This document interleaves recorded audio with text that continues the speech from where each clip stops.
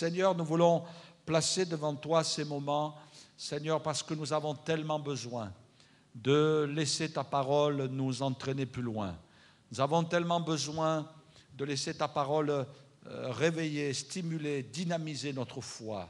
Seigneur, nous croyons que lorsque ta parole est annoncée, lorsqu'elle pénètre notre cœur, Seigneur, tu nous fortifies, tu nous encourages et tu nous entraînes plus loin dans tes voies.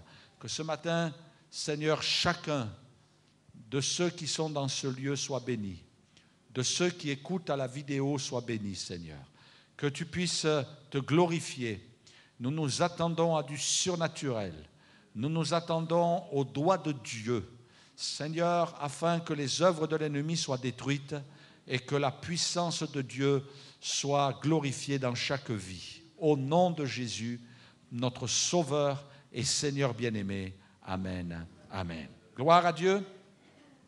J'aimerais ce matin encore vous encourager avec euh, ce thème, euh, ce thème euh, qui porte le nom de À genoux, le titre À genoux, nous sommes des géants. Même si ça paraît très paradoxal, eh bien, toute la Bible, toute la Bible est remplie de paradoxes.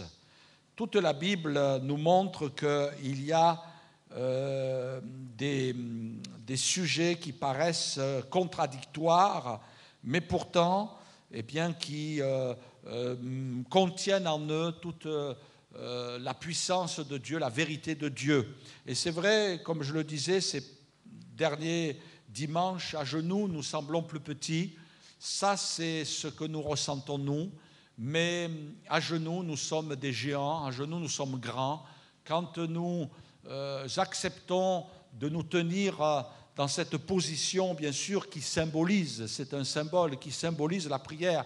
Si vous priez debout, vous inquiétez pas. Euh, vous êtes toujours de ceux qui peuvent accéder à cette grandeur. Si vous priez allongé, si vous priez dans votre lit, si euh, vous priez dans votre voiture, euh, c'est l'état de cœur. C'est le cœur qui se courbe devant Dieu, le cœur qui se prosterne devant lui. Et euh, Dieu nous invite à cette position de cœur, à genoux, nous sommes des géants. Et j'ai pensé à un homme qui apparaît dans l'Écriture, qui est là aussi pour nous encourager dans la foi, c'est Gédéon. La Bible nous parle de ce, de ce juge dans le livre des juges, bien sûr, qui s'est levé, le Seigneur est venu l'appeler, le Seigneur est venu l'interpeller et le Seigneur est venu aussi pour l'utiliser afin que la bénédiction puisse euh, se manifester parmi le peuple. Ce matin, je crois de tout mon cœur que le Seigneur vient aussi nous appeler, nous interpeller. Et le Seigneur vient euh, nous pointer du doigt et dire, je veux faire quelque chose avec toi. Je veux faire quelque chose avec toi quelquefois, le doigt de Dieu peut, se pointer vers nous et, on peut dire, ah, c'est pas moi, c'est peut-être euh, celui qui est à côté. Hein. Ça vous est jamais arrivé, euh, quelquefois, de vous trouver euh, en classe et, sur les bancs d'école et que le prof vous dise, toi là-bas. Qui? Moi? Non, parce que tout le monde fait moi. Alors, finalement, on n'arrive jamais à savoir qui c'est. Toi là-bas. Ah. Eh bien, là, le doigt de Dieu se porte vers nous et le Seigneur nous dit, je veux faire de toi quelqu'un. Je veux t'utiliser. Moi, Seigneur, comment est-ce possible? Ben oui, c'est possible, on va le voir ensemble. Les enfants d'Israël firent ce qui déplaît à l'Éternel, et l'Éternel les livra entre les mains de Madian pendant sept ans.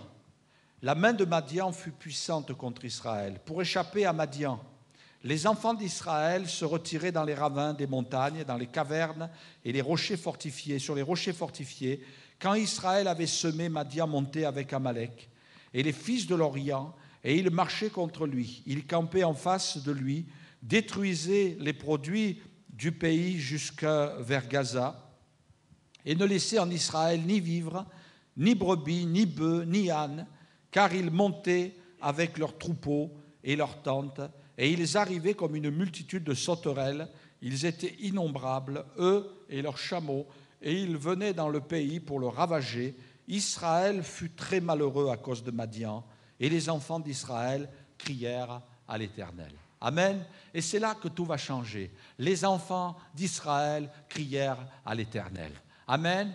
Les enfants d'Israël. C'est vrai que Madian euh, l'ennemi, euh, ce peuple ennemi a fait souffrir Israël.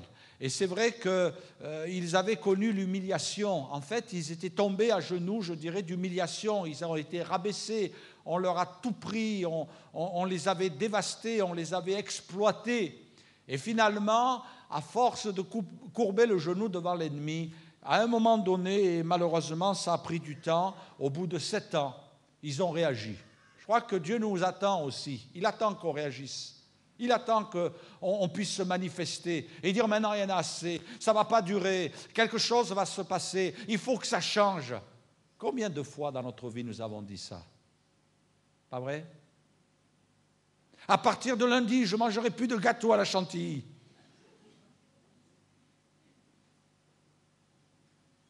Là, je me prépare pour le jeûne. Hein. Combien de fois nous avons dit ça? Enfin, pas pour les gâteaux à la chantilly. Hein. Mais combien de fois nous avons dit, il faut que ça change? Je crois que le peuple d'Israël a compris qu'il fallait que ça change, mais il fallait payer le prix. On va se mettre à genoux. Ils se sont mis à crier à l'Éternel. Ça, c'est extraordinaire. Et à partir de ce moment-là, tout a basculé. Moi, j'ai envie que dans ma vie, ça bascule. Qu'il y ait des choses qui basculent dans le service, dans le ministère, dans l'avenir de l'Église, dans la vie de ceux qui m'entourent. J'ai envie que ça bascule. Et gloire à Dieu, il y a des moments où Dieu a fait basculer les choses parce qu'on s'est mis à genoux. Et ce matin, si nous essayons de nous questionner, si nous essayons de chercher au fond de nous combien de fois Dieu a fait basculer les situations, combien de fois Dieu nous a secourus, combien de fois Dieu a changé les circonstances. Mais ce matin, il est hors de question de dire Oh, c'est bon, maintenant on va arrêter. Non, on veut que ça continue. On veut que ça continue à basculer. Et c'est vrai qu'il y a des moments où nous avons vu la gloire de Dieu dans notre vie. Et peut-être que ce matin, tu te dis, oh, comment ça se fait que ça s'est arrêté? Ça s'est arrêté parce que toi, tu t'es arrêté.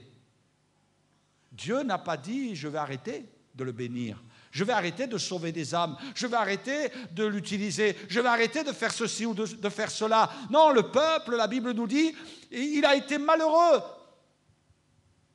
C'est terrible. Quelquefois, par le Saint-Esprit, le Seigneur est obligé de nous rendre malheureux.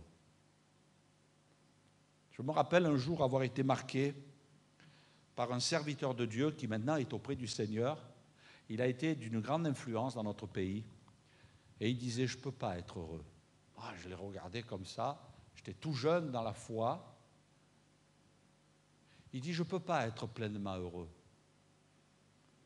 Parce qu'il y a tant à faire encore pour l'œuvre de Dieu.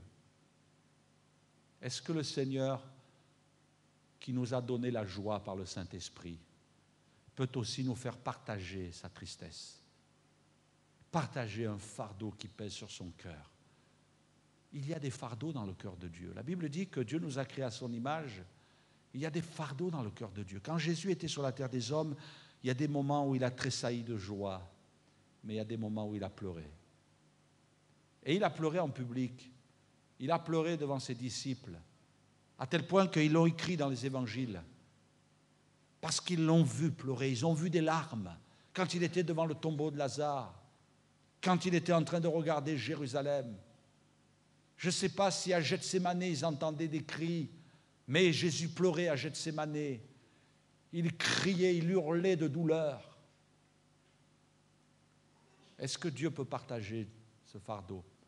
Est-ce qu'il vous arrive, mes frères et sœurs, par moments, quand vous pensez à Dieu, quand vous pensez à son Église, quand vous pensez à son œuvre, d'éprouver des sanglots, d'avoir des larmes qui coulent sur votre visage et de vous dire, oh, j'ai besoin de prier.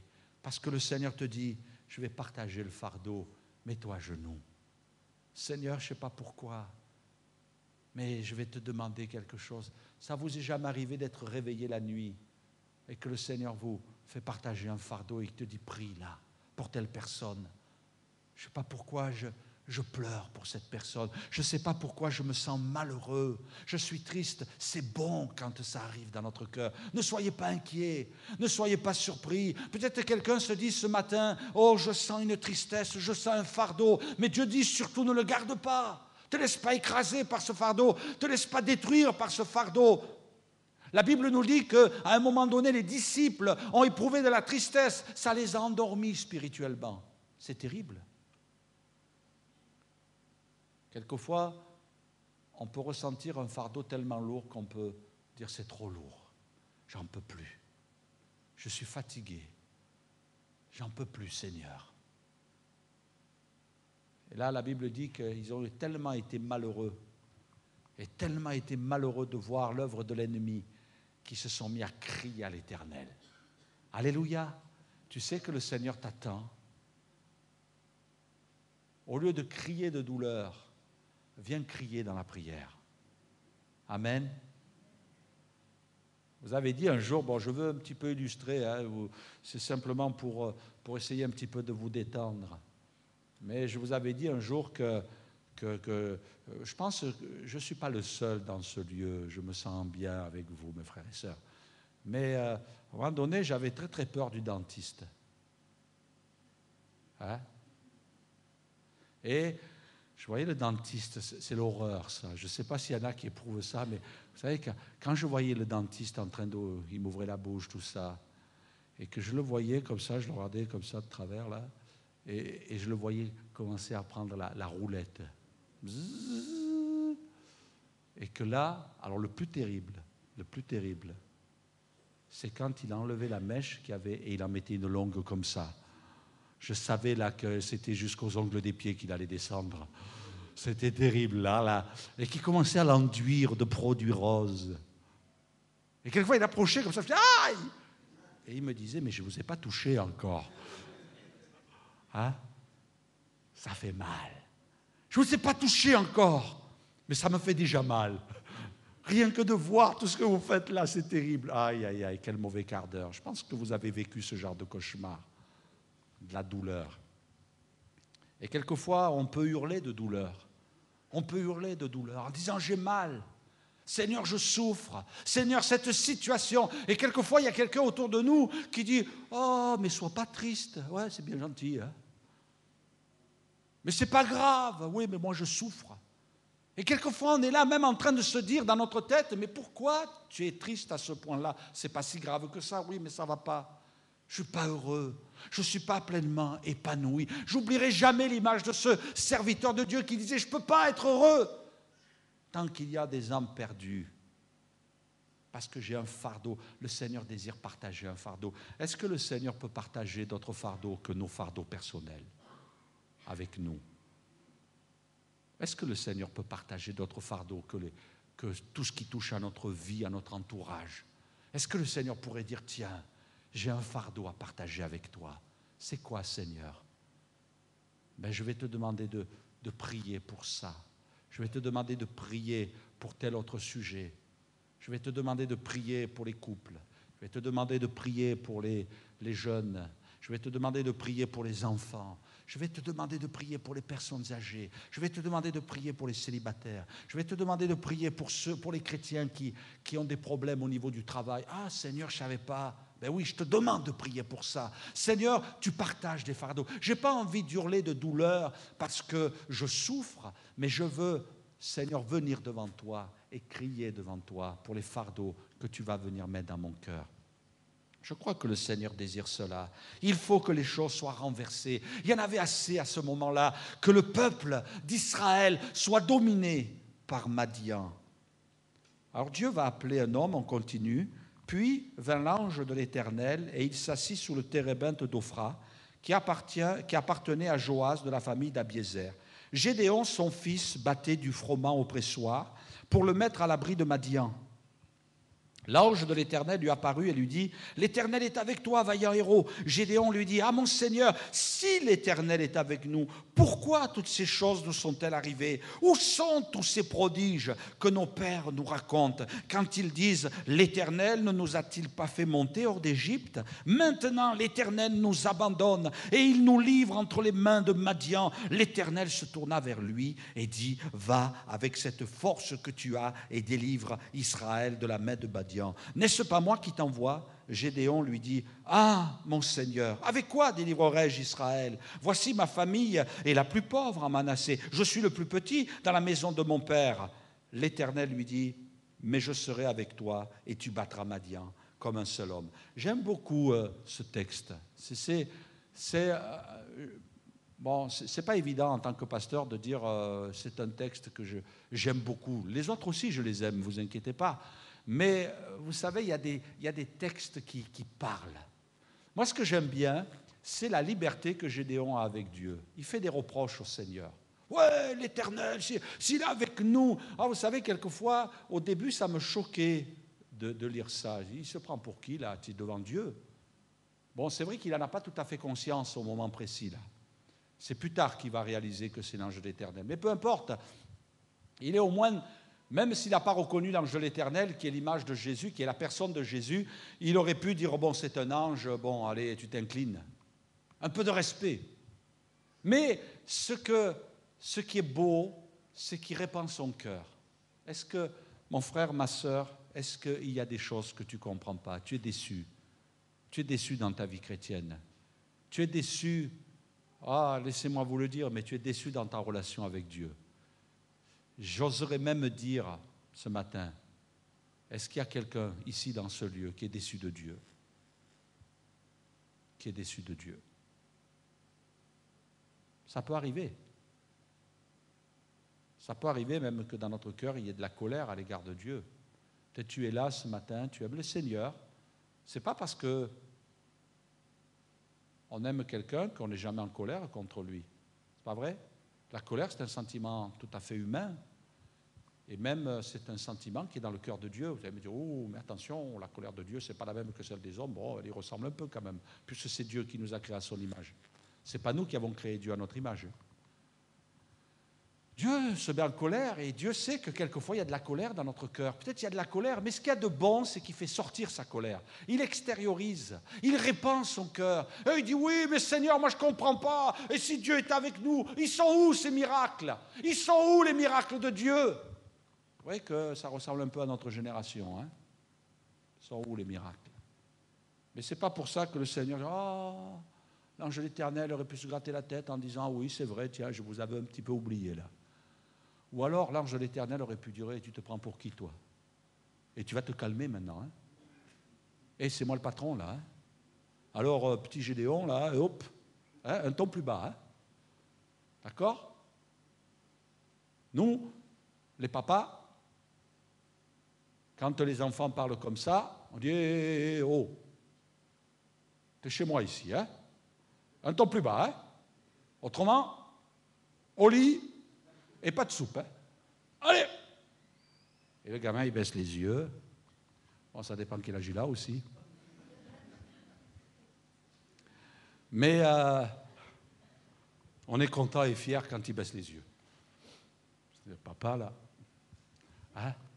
L'ange de l'Éternel, permettez-moi cette image, aurait pu dire ça Gédéon. Hé, hé, Gédéon, là-haut. Mais vous savez, le Seigneur, il, il aime quand dans notre cœur, permettez cette association, il y a de la violence spirituelle. Parce que la Bible dit que quand je dis de la violence, ce n'est pas de l'agressivité, mais c'est cette détermination. La Bible dit que ce sont les violents qui s'emparent du royaume de Dieu. Et là, le Seigneur, je pense que l'ange de l'Éternel, il a dû le regarder. Oh, j'imagine un peu la scène. Quand il a dit, oui, mais ils sont où les miracles? Ah, Dieu nous abandonne. Il est où Dieu? Ah, J'imagine l'ange de l'Éternel très serein avec un petit sourire en coin. Et peut-être qu'il y avait une petite bulle au-dessus de la tête de l'ange de l'Éternel en disant Oh, ce gars-là, je l'aime. Oh, ce gars-là, il me plaît. Allez, vas-y, vas-y, vas-y, continue, continue, continue, ça me plaît ça me plaît. Et le Seigneur aime quand il entend des cris dans notre cœur, des cris de douleur et de souffrance, des fardeaux qui s'expriment en disant Seigneur, oh, je suis déterminé, je veux voir ta gloire et je ne vais pas lâcher. Oh, je ne vais pas lâcher. L'ange de l'Éternel, il aime ça quand il a des Jacob devant lui et qui dit Je ne te laisserai pas partir que tu ne m'aies béni. Et Dieu aime quand dans notre cœur il y a de la détermination et qu'il y a de la violence. Oh Seigneur, je veux la bénédiction. Ah, ça c'est bon, l'âge de l'éternel dit, je ne me suis pas trompé, c'est le bon gars. C'est le bon gars. Oh, Gédéon, tu me plais là. Et alors il va commencer sa, petite... Euh,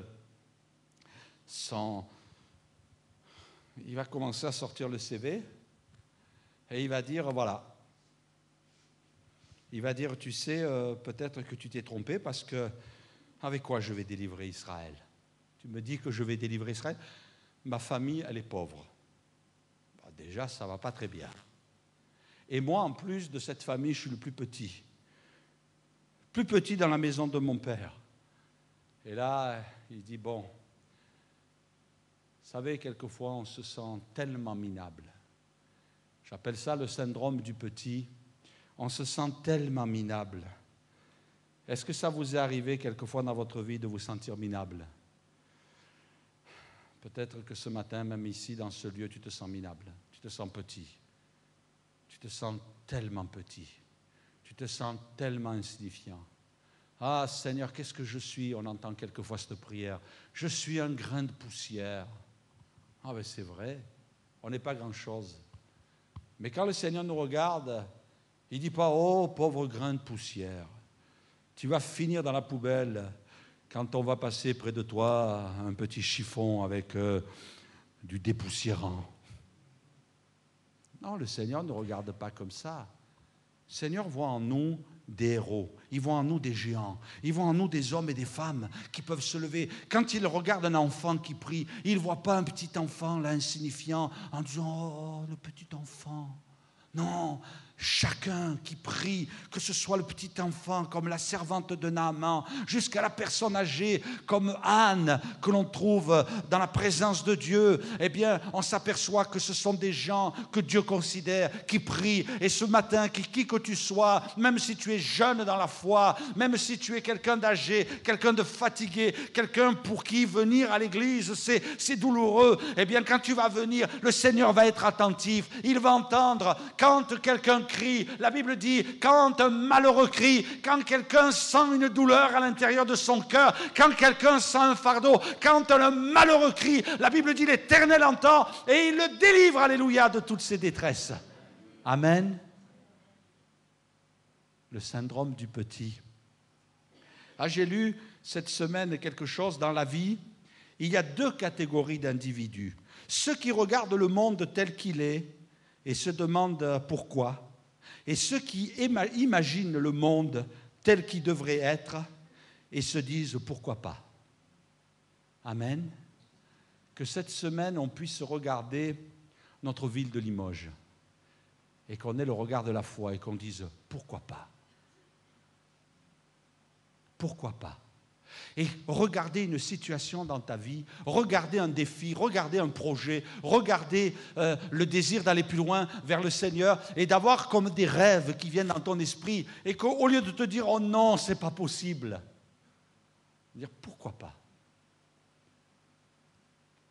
Moi, je trouve que c'est excellent. J'étais impressionné, j'ai entendu ça euh, de quelqu'un hier soir. Vous savez, euh, on a tous les yeux fixés sur le Japon, la, centrale de, Fukushima.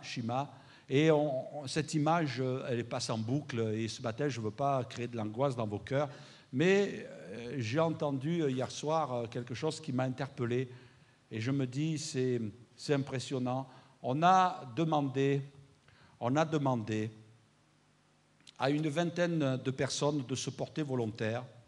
On a demandé qu'il y ait 20 volontaires pour aller travailler sur les centrales afin de, comme vous savez, refroidir les réacteurs. On a demandé à ce qu'il y ait 20 volontaires. Parmi les pompiers, parmi les techniciens, 20 volontaires. Et 180 se sont levés et se sont présentés. C'est impressionnant que on sait que ces gens qui se sont levés, et aujourd'hui on a des chiffres par rapport à ce qui s'est passé à Tchernobyl, ceux qui vont travailler devant une centrale qui, est en pleine, euh, euh, comment dire, euh, vivre un plein cataclysme comme celui-là, ceux qui ont travaillé à Tchernobyl, un mois après, ils étaient morts. Le commandant des pompiers, peut-être vous l'avez vu à la télévision, quand il a parlé des pompiers qui allaient intervenir, il disait en pleurant, mes pensées vont vers la famille, parce qu'il savait exactement ce qu'ils vont encourir. On a demandé 20 volontaires, il y en a 180 qui se sont levés. Mes frères et sœurs, cette centrale me fait penser au monde dans lequel nous sommes. Nous sommes sur un monde qui est prêt à exploser.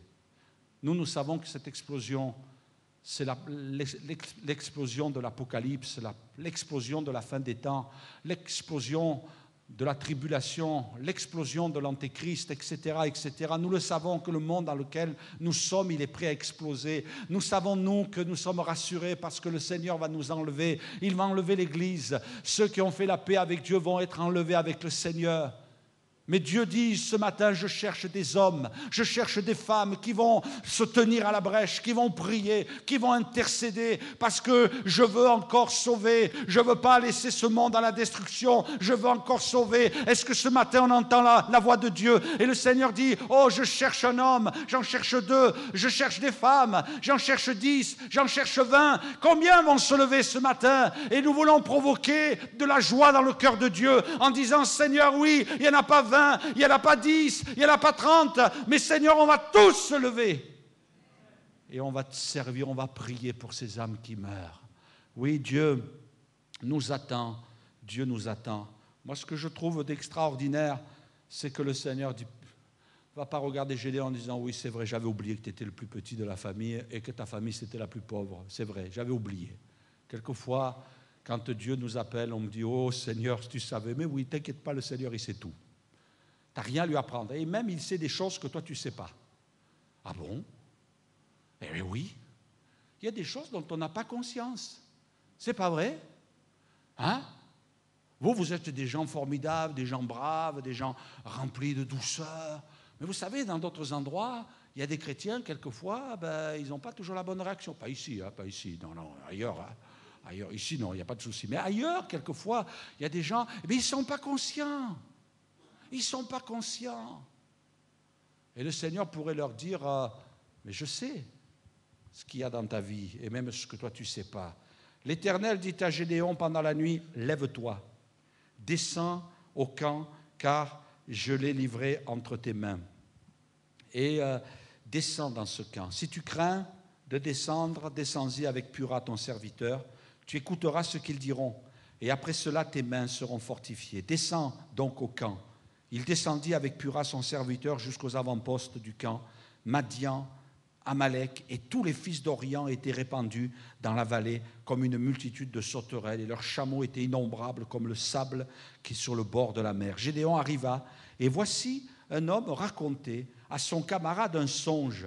Et il disait, j'ai eu un songe, et voici un gâteau de pain d'orge roulé dans le camp de Madian. Et il est venu heurter jusqu'à la tente, et elle est tombée, et l'a retournée sans dessus, dessous, et elle a été renversée. Son camarade répondit et dit, Ce n'est pas autre chose que l'épée de Gédéon, fils de Joas, homme d'Israël. Dieu a livré entre ses mains Madian et tout le camp. Lorsque Gédéon eut entendu le récit du songe et son explication, il se prosterna, revint au camp d'Israël et dit, Levez-vous, car l'Éternel a livré entre vos mains le camp de Madian. Oh, ça c'est formidable il va entendre Dieu lui dire Va dans le camp de Madian et tu vas voir là-bas ce qui se passe. Va dans le camp de l'ennemi et tu vas écouter ce, que les ennemis disent. Et Dieu va conduire euh, Gédéon là dans le camp de l'ennemi, s'approche d'une tente et il y en a un qui raconte le songe que vous avez lu. Et ça l'a fortifié. C'est vrai que quelquefois, quand nous nous regardons, nous disons Tu pèses pas lourd. Tu pèses pas lourd. C'est pas vrai Ça vous est jamais arrivé ben, Ça arrive à tout le monde, ça. Et laissez-moi vous dire, c'est un sentiment quelquefois que Dieu permet que nous ayons pour qu'on s'appuie sur lui. Mais quelquefois, le Seigneur est, là aussi pour nous encourager et dire, tu, toi, tu as l'impression que tu pèses pas lourd. Mais est-ce que tu sais que tu es dangereux par rapport à l'ennemi? Tes prières, il ne les aime pas, l'ennemi. Tes prières, ça l'agace. Tes prières, ça le met en colère. Oh, mais pourtant, je ne prie pas beaucoup. Mais oui, mais alors imagine si tu pries beaucoup. Tiens. Oh, mais pasteur, je ne savais pas. Eh bien oui, ben, il faut savoir un petit peu. Et alors, Jésus va dire, même les prières des pharisiens, elles sont entendues. Pourtant, on sait combien ils parlaient mal du Seigneur, les pharisiens. C'est pas vrai? Ils parlaient mal. Ils étaient contre Jésus, ils l'ont rejeté, ils le critiquaient. Ils ont même dit qu'il avait un démon. Et pourtant, le Seigneur disait qu'il entendait leurs prières. Il entendait leurs prières. Alors imagine, toi bien sûr, tu es bien loin de, la manière dont se, se euh, menaient leur vie les pharisiens, tu es bien loin de cela. Alors imagine ta prière. Ah Seigneur, je ne savais pas. Je ne savais pas que ma prière, elle avait du poids. Pourtant, Seigneur, je ne prie pas des heures. Seigneur, ma prière a du poids. Alors imagine ce matin si, si cette semaine-là, tu dis, oh ben tiens, je vais passer un peu plus de temps dans la prière. Le camp de l'ennemi va être renversé sans dessus-dessous. Oh, alléluia. Moi j'aime bien quand c'est la panique dans le camp de l'ennemi. J'aime bien quand c'est la panique dans le camp de l'ennemi. Alléluia. Et Dieu veut mettre la panique dans le camp de l'ennemi. Veut mettre la panique. Et cette panique, c'est parce que tu vas te tenir dans la prière. Tu vas te tenir devant Dieu. Moi, j'ai envie que les choses soient bien réglées dans le royaume de Dieu, mais j'ai envie que dans le camp de l'ennemi, ce soit la panique. Et Dieu nous invite à cela. Alors, quelquefois, on se sent petit. C'est quoi l'échec? Oh, j'ai bien aimé, ce matin, je, découvrais dans euh, euh, une parole pour aujourd'hui de Bob Gass, et laissez-moi vous lire cela, c'est tellement merveilleux. Il cite ce texte et il dit, il se met en marche sur l'eau pour aller vers Jésus. Vous savez, Pierre qui a marché sur l'eau.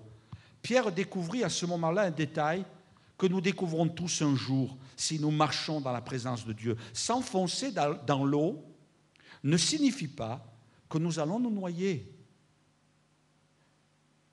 Et ce pour deux raisons. D'abord, échouer ne veut pas ne fait pas de vous un raté à vie, mais vous le devenez si vous cessez de vous battre ou si vous ne tentez rien. L'échec fait partie de l'apprentissage et ce n'est qu'une étape à votre développement.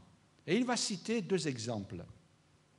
Sir Edmund Hillary tenta plusieurs fois sans succès l'ascension du mont Everest, jusqu'au jour où il parvint au sommet. Au retour d'une tentative manquée, campé devant la montagne inviolée et le poing levé comme un défi lancé à son adversaire, il est censé s'être écrié Je te vaincrai un jour.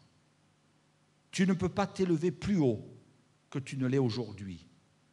Mais moi, je suis toujours en train de grandir. Est-ce que ce n'est pas beau pour un chrétien, ça? En face de l'ennemi, en disant Toi, c'est fini, tu ne peux plus t'élever là. Tu ne peux pas aller plus haut, mais moi, je peux grandir. Amen, je trouve c'est merveilleux. Moi, je suis encore en train de grandir. Chaque tentative manquée lui permit d'apprendre quelque chose de plus jusqu'au jour où il réussit l'ascension de la montagne. Winston Churchill avait l'habitude de dire Je n'ai jamais échoué à quoi que ce soit dans ma vie, une occasion de mieux faire, mais simplement offerte de temps en temps. Voilà la marque d'un esprit conquérant. La deuxième raison, les vrais ratés sont ceux qui sont restés dans le bateau. Ils sont demeurés tranquilles dans leur coin, loin de la lumière et des critiques, tandis que Pierre s'enfonçait dans les eaux sous les yeux de tous. Pourtant, lui seul connut l'euphorie de pouvoir marcher sur les flots. Il découvrit l'exaltation de se sentir soutenu par la puissance divine et de pouvoir accomplir ce que seul il aurait était incapable de faire. Une fois que vous aurez marché sur l'eau, vous ne serez plus jamais le même. Pierre a dû garder le souvenir de cet instant jusqu'au dernier jour. Il eut l'incroyable joie de se sentir soulevé par la main de Jésus au moment où le désespoir et la peur l'envahissaient. Pierre comprit mieux, comprit mieux que tous les autres que s'il s'enfonçait dans les eaux, Jésus serait là pour le sauver. Il partagea avec lui un instant privilégié, une relation profonde, un niveau de confiance que les autres ne pouvaient imaginer. Et comment l'aurait-il pu, puisqu'ils n'avaient jamais quitté leur bateau? L'échec, ce n'est pas de s'enfoncer dans l'eau, c'est d'accepter d'être paralysé par la peur. Moi, je trouve que c'est extraordinaire de pouvoir se lever et de pouvoir dire Seigneur, je vais accepter le défi. Mes frères et sœurs, Dieu ne nous appelle pas à être des peureux. Dieu ne nous appelle pas à être des lâches. Dieu ne nous appelle pas à être repliés sur nous-mêmes avec un sentiment d'égocentrisme. Dieu ne nous appelle pas à chercher notre gloire en disant Oh, j'ai vécu une situation où j'ai été humilié. Dieu nous dit Vas-y, marche, continue, t'arrête pas, marche sur les eaux, parce que tu vas vivre le miracle. Le miracle est au rendez-vous, parce que nous en marchons vers le Seigneur et nous obéissons à sa parole. Et peut-être tu t'es arrêté à un moment donné de ta vie, mais le Seigneur te dit, tu vas sortir de la barque. Oh, je vais arrêter là ce matin, il y aurait d'autres points que j'aurais pu souligner, mais je voudrais simplement vous encourager à vous approcher du Seigneur. Je vais inviter les musiciens ce matin à venir me rejoindre. Et j'aimerais que on chante ce chant, on le reprenne, ce merveilleux chant qui a été euh, dans la liste plus près de toi, Seigneur. Ce matin, Seigneur, viens me toucher comme tout à nouveau. Mes frères et sœurs, nous avons un grand combat à mener contre nous-mêmes pour ne pas devenir des religieux. Pour ne pas, ce matin, que cet instant que nous venons de passer avec le Seigneur s'arrête là. On va repartir dans nos maisons dans quelques instants et ça va s'arrêter là. Et on dit la semaine prochaine, je reviendrai. Non, le Seigneur nous attend. Et il nous dit, ça peut encore changer. Le Seigneur cherche des héros pour éteindre les feux des ténèbres qui brûlent dans ce monde, pour éteindre le feu du péché, pour éteindre le feu de l'immoralité, pour éteindre le feu que l'ennemi a mis dans ce monde. Seigneur, je veux me lever. Et ces hommes qui se sont levés pour cette centrale qui est en fusion, dont les réacteurs sont en fusion, Seigneur, même si je dois payer de ma vie, je veux te servir. Seigneur, toi tu as donné ta vie. Et tu dis, si quelqu'un veut me suivre, il faut qu'il prenne sa croix et qu'il me suive. Oh, le Seigneur ne nous abandonnera pas. Mais le Seigneur est, en train de regarder si on va dépasser nos peurs, si on va dépasser nos angoisses, si on va dépasser nos craintes, si on va dépasser nos échecs. Dire Seigneur, je veux me lever pour te servir. Alléluia. Seigneur, je veux m'abandonner à toi. Est-ce qu'on peut se lever? On va prendre ce chant ensemble et dire Seigneur, ce, matin, je veux m'abandonner entre tes mains. Je vais inviter les frères pour la Sainte Seine à venir devant. Commencez à préparer le repas du Seigneur. Et ce matin, nous voulons dire Seigneur, oui, je veux me mettre sur l'autel et te sacrifier ma vie. Amen. Seigneur, je veux accepter de relever les défis. Je refuse, Seigneur, la médiocrité. Je veux l'excellence. Je veux le meilleur pour ma vie. Je veux que lorsque je me présenterai devant toi, tu puisses dire, ah, tu as été un bon et fidèle serviteur. Seigneur, me voici ce matin. Me voici pour te servir avec mes peurs, mes craintes. Je suis comme Gédéon, je me sens si faible, je me sens si petit, Seigneur. Mais Seigneur, tu as décidé de te servir des faibles pour confondre les choses fortes. Tu as choisi les petits pour confondre les grands de ce monde. Seigneur, mes yeux sont tournés vers toi. Alléluia. Oh Seigneur, mes yeux sont tournés vers toi pour te glorifier. Alléluia. Et je m'approche de toi ce matin. Amen.